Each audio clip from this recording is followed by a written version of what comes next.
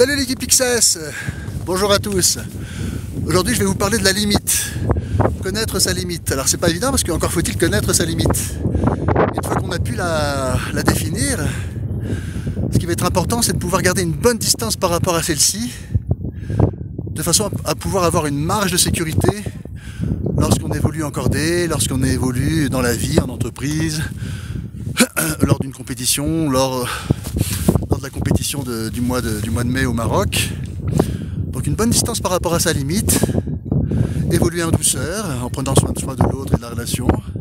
Et à un moment donné, on s'aperçoit que finalement, au cours du temps, on a atteint cette limite, mais que la limite finalement, elle s'est déplacée bien plus loin. Donc grâce à la pause de conscience, grâce à la douceur, grâce à notre capacité à prendre soin de soi de l'autre et de la relation, finalement on déplace nos limites. Donc je vous invite vraiment à mettre de la douceur dans votre vie pour pouvoir déplacer vos limites et gagner, et gagner en performance. A très vite l'équipe XS, la bise.